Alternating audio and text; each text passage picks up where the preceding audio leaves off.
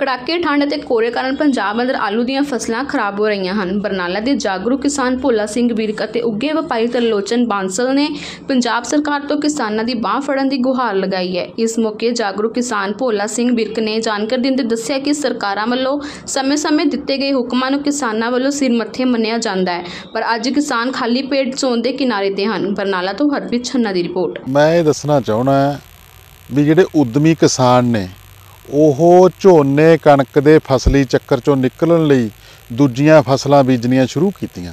ਜਿਵੇਂ ਕਣਕ ਦੀ ਬਜਾਏ ਆਲੂਆਂ ਦੀ ਫਸਲ ਬੀਜੀ। ਪਰ ਮੌਸਮ ਦੀ ਜਿਹੜੀ ਹੈਗੀ ਕੋਰੇ ਦੀ ਮਾਰ ਕਰਕੇ ਆਲੂਆਂ ਦਾ ਬਹੁਤ ਨੁਕਸਾਨ ਹੋ ਗਿਆ। ਰੇਹਾਂ ਸਪਰੇਹਾਂ ਵੱਧ ਕਰਨੀਆਂ ਪੈਂਦੀਆਂ। ਉਹਦੇ ਕਰਕੇ ਇਸ ਕਿਸਾਨਾਂ ਸਿਰ ਹੋਰ ਕਰਜ਼ਾ ਚੜ ਜਾਂਦਾ ਮੈਂ ਪੰਜਾਬ ਸਰਕਾਰ ਨੂੰ ਇਹ ਬੇਨਤੀ ਕਰਦਾ ਵੀ ਇੱਕ ਤਾਂ ਆਲੂਆਂ ਦੇ ਉੱਤੇ ਐਮਐਸਪੀ ਨਿਰਧਾਰਤ ਕਰਨ। ਦੂਜੀ ਬੇਨਤੀ ਇਹ ਕਰਦਾ ਵੀ ਜਿਹੜਾ ਆਲੂਆਂ ਦੀ ਫਸਲ ਦਾ ਨੁਕਸਾਨ ਹੋਇਆ, ਉਹਦਾ ਕਿਸਾਨਾਂ ਨੂੰ ਢੁਕਮਾ ਮੁਆਵਜ਼ਾ ਮਿਲਣਾ ਚਾਹੀਦਾ ਤਾਂ ਕਿ ਜਿਹੜਾ ਕਿਸਾਨ ਡਿਮੋਰਲਾਈਜ਼ ਨਾ ਹੋਣ, ਕਿਸਾਨਾਂ ਦਾ ਜਿਹੜਾ ਮਨੋਬਲ ਨਾ ਟੁੱਟੇ, ਤਾਂ ਕਿ ਉਹ ਜਿਹੜੇ ਫਸਲੀ ਜਿਹੜੀ ਰਵਾਇਤੀ ਚੱਕਰ ਚੱਲਦਾ, ਉਹਦੇ ਚੋਂ ਬਾਹਰ ਨਿਕਲਣ।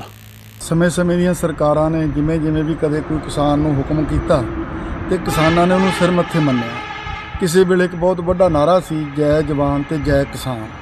ਜਿਹੜਾ ਜੈ ਜਵਾਨ ਸਾਡੇ ਭਾਰਤੀ ਫੌਜੀ ਨੇ ਇੰਨੀ ਮਿਹਨਤ ਕੀਤੀ ਬਰਫਾਂ ਵਿੱਚ ਠਰ ਕੇ, ਬਰਫਾਂ ਵਿੱਚ ਰਹਿ ਰਹਿ ਕੇ, ਲੇਕਿਨ ਸਾਡੇ ਹਿੰਦੁਸਤਾਨ ਦਾ ਮਨੋਬਲ ਇੰਨਾ ਉੱਚਾ ਕਰਤਾ ਕਿ ਕਿਸੇ ਵੀ ਜੰਗ ਨੂੰ ਹਾਰ ਨਹੀਂ ਦਿੱਤਾ, ਬਲਕਿ ਬਹੁਤ ਵੱਡੀਆਂ ਵੱਡੀਆਂ ਜੰਗਾਂ ਜਿੱਤੀਆਂ।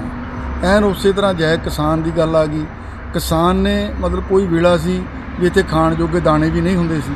ਲੇਕਿਨ ਅੱਜ ਹਿੰਦੁਸਤਾਨ ਨਹੀਂ, ਬਲਕਿ ਮੈਂ ਜੇ ਪੰਜਾਬ ਦੀ ਗੱਲ ਕਰਾਂ, ਤਾਂ ਕੱਲੇ ਪੰਜਾਬ ਨੇ ਪੂਰੀ ਦੁਨੀਆ ਦਾ ਢਿੱਡ ਭਰਨ ਤੱਕ ਦਾ ਅਨਾਜ ਪੈਦਾ ਕਰਤਾ। ਲੇਕਿਨ ਇਹ ਆਪ ਵਿਚਾਰਾ ਭੁੱਖੇ ਢਿੱਡ ਸੌਣ ਵਾਲੀ ਹਾਲਤ ਦੇ ਉੱਪਰ ਇਹ ਚਲਿਆ ਗਿਆ। ਲੇਕਿਨ ਸਰਕਾਰਾਂ ਹੁਣ ਕਹਿ ਰਹੀਆਂ ਨੇ ਕਿ ਜਿਹੜੀ ਫਸਲ ਵਿਭਿੰਨਤਾ, ਜਿਹੜੀਆਂ ਫਸਲਾਂ ਦਾ ਤਬਦੀਲੀ ਚੱਕਰ, ਇਹਨੇ ਉਸ ਕਰਕੇ ਉਹ ਚੱਕਰ ਵੀ ਸ਼ੁਰੂ ਕੀਤੇ। ਟਮਾਟਰ ਲਾਉਣ ਦੀ ਗੱਲ ਆ ਜਾਓ, ਆਲੂ ਲਾਉਣ ਦੀ ਗੱਲ ਆ ਜਾਓ, ਗੰਢੇ ਉਪਜਾਊ ਦੀ ਗੱਲ ਆ ਜਾਓ। ਲੇਕਿਨ ਜਿਹੜੀਆਂ ਕੱਚੀਆਂ ਫਸਲਾਂ ਜਦੋਂ ਕਿਸਾਨ ਇੱਧਰ ਨੂੰ ਮੁੜਦਾ ਹੈ, ਤਾਂ ਫਿਰ ਇਹਦੇ ਉੱਪਰ ਜਦੋਂ ਕੋਈ ਕੁਦਰਤੀ ਆਫਤ ਪੈਂਦੀ ਹੈ, ਤਾਂ ਉਦੋਂ ਸਮੇਂ ਦੀ ਸਰਕਾਰ ਨੂੰ ਇਹਨਾਂ ਵੱਲ ਧਿਆਨ ਦੇਣਾ ਚਾਹੀਦਾ ਹੈ। ਹੁਣ ਜਿਹੜਾ ਐਤਕੀ ਬਹੁਤ ਸਾਲਾਂ ਬਾਅਦ ਲ- ਕਹਿ ਸਕਦਾ ਵੀ ਘੱਟ ਘੱਟ 40 ਸਾਲ ਬਾਅਦ ਇੰਨੀ ਠੰਡ ਪਈ। ਪਿਛਲੀ 24 ਤਰੀਕ ਦਾ ਸੂਰਜ ਨਿਕਲਿਆ ਹੋਇਆ ਤੇ ਅੱਜ 10 ਤਰੀਕ ਹੋ ਗਈ 17 18 ਦਿਨ ਸੂਰਜ ਨਾ ਦਿਖਣਾ, ਇੰਨੀ ਕੜਾਕੇ ਦੀ ਠੰਡ ਕੋਰਾ ਲੇਕਿਨ ਉਹਨੇ ਆਲੂਆਂ ਦਾ ਬਹੁਤ ਨੁਕਸਾਨ ਕੀਤਾ। ਇਹ ਫਸਲ ਦੇ ਉੱਪਰ ਬਹੁਤ ਮਾਰੂ ਰਹੀ ਹੈ ਠੰਡ ਜਿਹਦੇ ਨਾਲ ਕਿਸਾਨ ਦਾ ਬਹੁਤ ਨੁਕਸਾਨ ਹੋਇਆ। ਕਿਸਾਨ ਪਹਿਲਾਂ ਹੀ ਬਹੁਤ ਵੱਡੇ ਕਰਜ਼ੇ ਦੇ ਥੱਲੇ ਹੈ, ਲੇਕਿਨ ਆਹ ਠੰਡ ਨੇ ਤਾਂ ਆਹ ਕੁਦਰਤੀ ਆਫਤ ਨੇ ਇਹਨੂੰ ਹੋਰ ਵੀ ਕਮਜ਼ੋਰ ਕੀਤਾ। ਸੋ ਮੇਰੀ ਬੇਨਤੀ ਹੈ ਮੌਜੂਦਾ ਸਰਕਾਰ ਨੂੰ ਕਿ ਇਸ ਵੇਲੇ ਇਸ ਕਿਸਾਨ ਦੀ ਬਾਹ ਫੜਨ। ਇਹ ਤੁਹਾਡਾ ਅੰਨਦਾਤਾ ਹੈ। ਇਹ ਤੁਹਾਨੂੰ ਰੋਟੀ ਰੋਜੀ ਪੈਦਾ ਕਰਕੇ ਦਿੰਦਾ, ਲੇਕਿਨ ਆਪ ਸੱਚੀ ਮੁੱਚੀ ਇਹਦੀ ਜਿਹੜੀ ਪੋਜੀਸ਼ਨ ਆ, ਉਹ ਭੁੱਖੇ ਢਿੱਡ ਸੌਣ ਵਾਲੀ ਹਾਲਤ ਆ। ਸੋ ਮੈਂ ਦੁਬਾਰਾ ਫਿਰ ਅਪੀਲ ਕਰਦਾ ਕਿ ਇਸ ਸਮੇਂ ਦੇ ਵਿੱਚ ਇਹਨਾਂ ਦੀ ਕਿਸਾਨ ਦੀ ਜਿਹੜੀ ਵੱਧ ਤੋਂ ਵੱਧ ਮਦਦ ਕੀਤੀ ਜਾਵੇ। ਜਿੰਨੀ ਵੀ ਇਹਨਾਂ ਦੀ ਮਦਦ ਹੁੰਦੀ ਆ, ਉਨੀ ਉਹ ਥੋੜੀ ਆ।